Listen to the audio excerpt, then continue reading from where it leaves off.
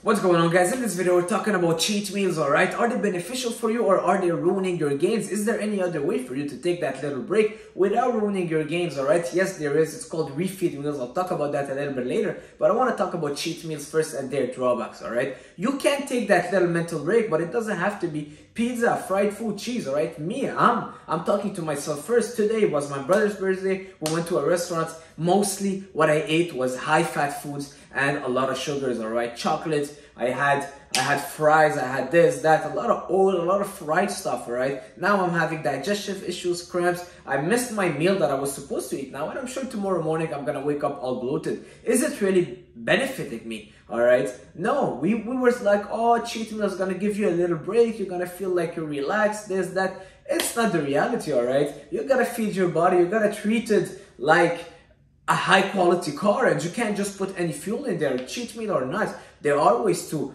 giving your body that little break, but without necessarily eating fries and pizza. All right. I, I made the mistake and I'm, I'm not perfect. All right. I'm just telling you guys what works doesn't mean that I'm 100% perfect. I try my best. Now, refeed meals. Let's talk about refeed meals. Refeed meals have a purpose. All right. What you eat, even on a cheat, on a high calorie day, high carb day, low carb day, everything has a purpose, all right? You want to take that little break? Well, it has a purpose and you have to know what you're eating. It's not just saying, well, I'm going to take today, eat whatever I want because it's going to wreak havoc on your digestion, on your gains, and you might ruin your results, all right? Let's say you're in a 500 deficit all every single day of the week and now you're taking your cheat meal every Saturday and you go for 5,000 calories a day. Well, guess what? That cheat meal just missed all your previous gains that you made, all right? And that's why your weight is not moving much. So talking about cheat meals, I'm not a big fan of overdoing it. I tell people, uh, well, cheat meals not at all, but refeed meals even, high calorie days, all right? Maybe you can do it once every two weeks,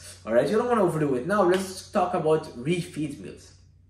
Refeed meals are different than cheat meals because they have a purpose. What you're giving to your body, you're nourishing your body in a way that it's gonna benefit you for future gains. All right. So refeed meals, most of the time, very low fat, high carbs, and moderate protein. All right. The goal of the refeed meals is refeeding your muscle glycogen. Muscle glycogen is carbs that are stored in your muscles that give you that kind of impression of having full muscles, all right? More carbs holds to more water, your muscles look full. When you're dieting for a little while, all right, you start depleting muscle glycogen, and that's why you look flat, all right? You look flat, your muscle lo lose a lot of kind of that good volume, all right? A lot of glycogen that is lost. And that's why refeed meals come into place. When you're shredding down, you're dieting, working out day after day after day, you start getting depleted. So you need to refeed those muscles to give you a little bit more fuel, more juice for the week to come, all right? And refeed meals, my favorite sushi, all right? Jay Cutler used to be, be a big fan of going sushi refeed meal. Most bodybuilders actually love sushi, all right?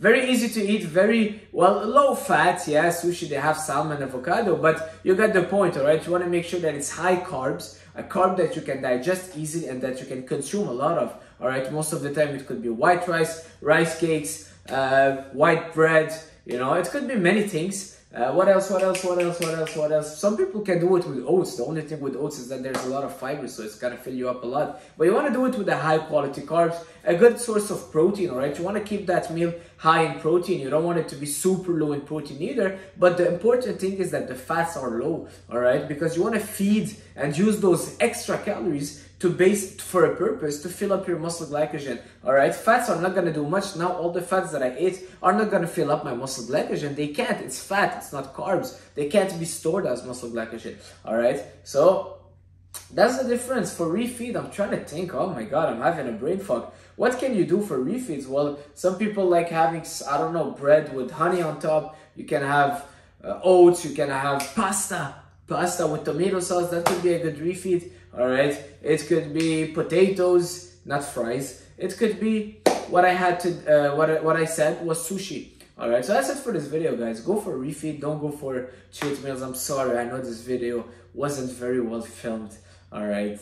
You know, that might be because of the cheat meal. You see, it's even impacted my head because usually I film my videos, I press on play, boom, boom, boom. Now it's like if I'm trying to find my words. So guys, we're almost 3,000 subscribers, all right? If you haven't subscribed, leave a subscribe, click on this bell button, do all this stuff that you can do to support me and also so you can see more videos. I'm gonna post one video every single day. Every single day you'll see a video of me. Alright, I'll see you guys soon.